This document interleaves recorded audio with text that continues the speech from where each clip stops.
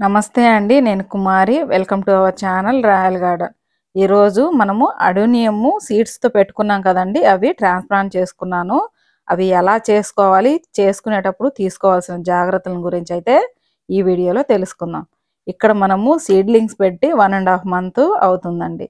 మనము ఎప్పుడైనా సరే ట్రాన్స్ప్లాంట్ చేసుకోవాలి అనుకున్నప్పుడు రెండు నెలల సీడ్లింగ్స్ లేదా మూడు నెలల లోపు ఉన్నటువంటి సీడ్లింగ్స్ని తప్పకుండా ట్రాన్స్ప్లాంట్ అనేవి చేసుకోవాలి.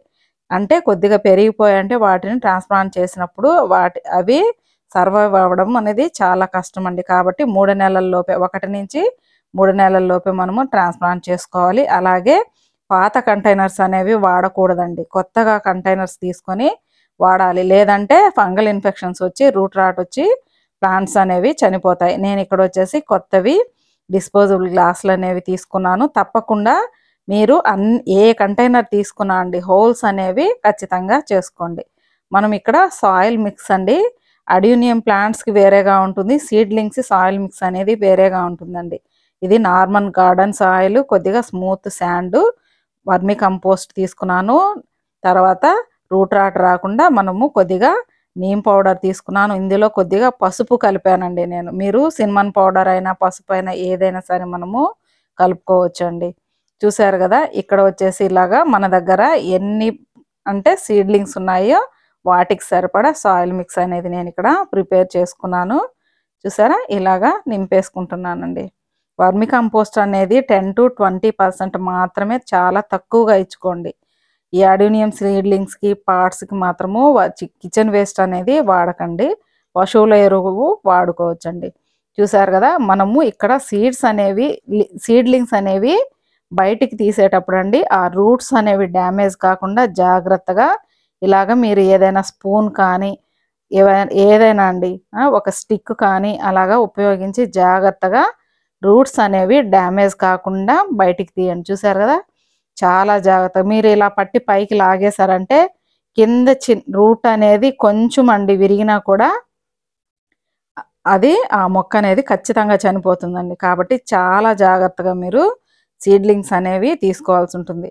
మనం ఎలాగూ ఓన్లీ శాండ్లోనే పెట్టాం కదా సీడ్స్ అనేవి ఈజీగా వచ్చేస్తాయండి. ఒక్కసారి ఇలా కదిపామంటే మనము చాలా జాగ్రత్తగా మనము ఈజీగా తీసేసుకోవచ్చు. చూసారు కదా మనము ఎన్ని సీడ్లింగ్స్ పెట్టామో అన్నీ కూడా అండి.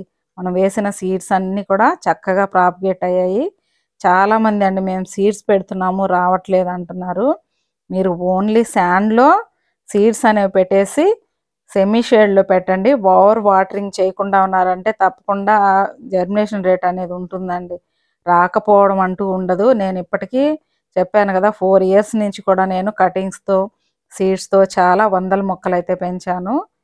చూసారు కదా ఎన్ని ఉన్నాయో ఇలాగా ఫస్ట్ అయితే ఇవన్నీ తీసేసుకున్నానండి నేను. ఇక్కడ మనము గ్లాస్కి హోల్స్ చేసుకొని సాయిల్ అనేది నింపుకున్నాం కదా ఇప్పుడు ఒక స్టిక్ అండి.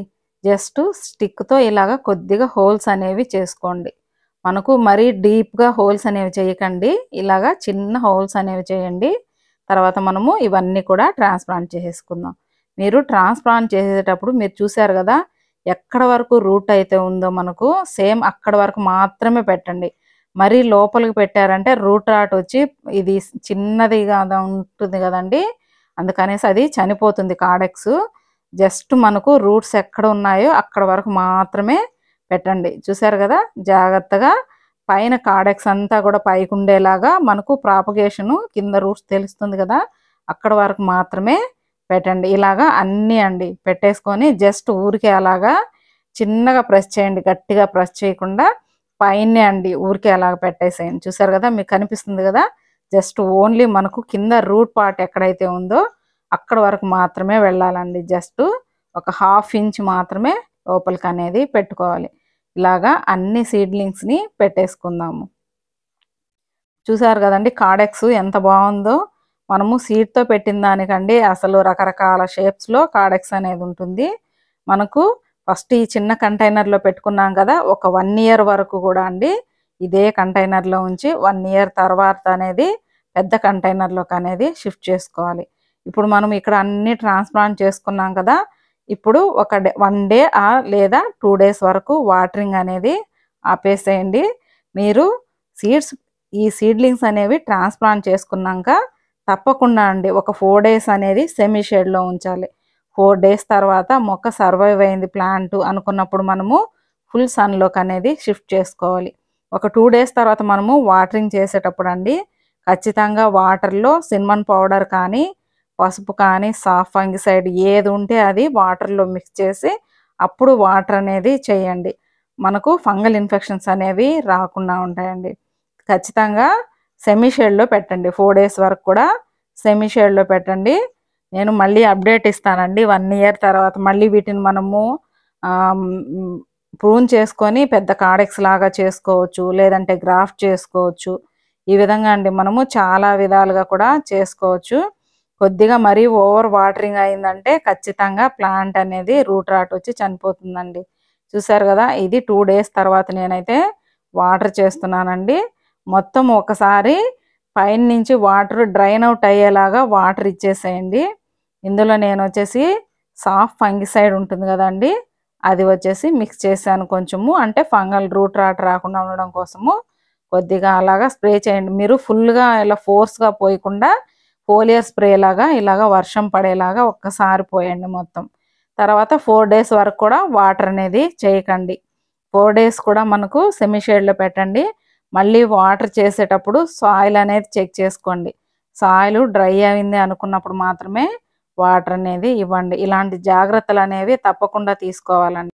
చూశారు కదండి? అడినియం మొక్కల్ని ఎలా ట్రాన్స్ప్లాంట్ చేసుకోవాలి? సాయిల్ మిక్స్ కొన్ని టిప్స్ గురించి వీడియో నచ్చితే తప్పకుండా లైక్ చేయండి అలాగే సబ్స్క్రైబ్ చేసుకోండి కమెంట్ చేయండి షేర్ చేయండి. థ్యాంక్స్ ఫర్ వాచింగ్ అండి.